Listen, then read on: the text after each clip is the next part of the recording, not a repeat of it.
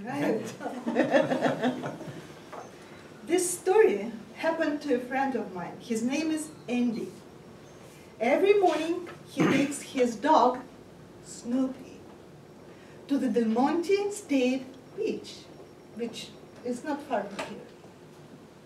It was an early morning, Saturday, June 21st, 2014.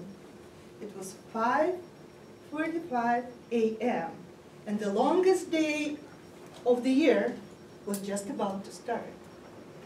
The morning was as cold as an early summer morning at the Monterey Beach can be.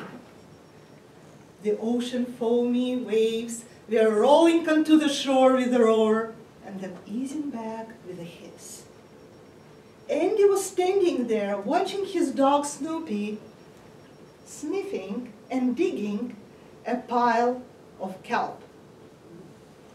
At that moment, someone grabbed Andy's shoulder.